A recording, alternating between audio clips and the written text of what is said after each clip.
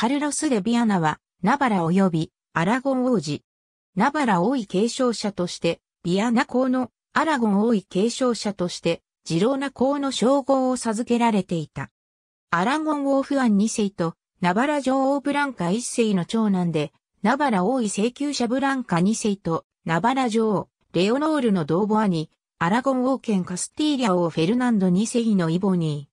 ー。1423年に母方の祖父にあたるカルロス3世からビアナ公に除され、ナバラ王位継承者に指名された。1439年にクレーフェ公女アグネスと結婚したが、子供は得られなかった。1441年の母ブランカ一世の死後に、ナバラ王位をめぐって父と対立し、内乱となった。支持者からナバラ王カルロス4世と呼ばれた。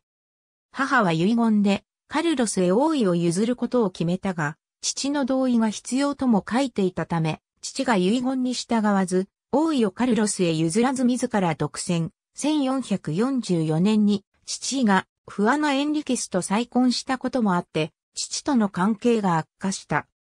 これに、父と対立するナバラ貴族が味方したため、カルロスは父に対し挙兵したが敗れて、東国、脱走して、叔父のアラゴン王権ナポリオ・アルフォンソ5世の下へ逃れた。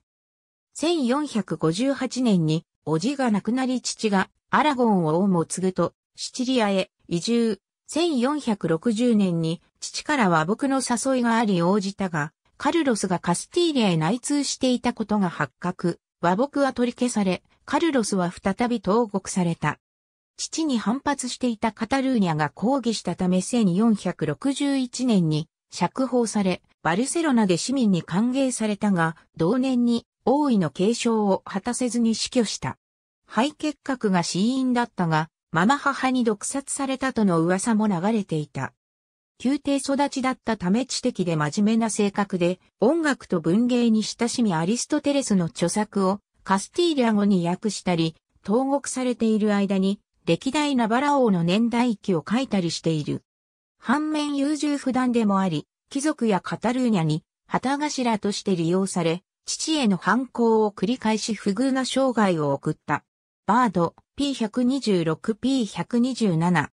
バード P127P129 田沢 P194P195 関 P243 西川 P220P222 バード P129 田沢 P195P198 関 P243P244 エビー西川 P222 田沢 P196。ありがとうございます。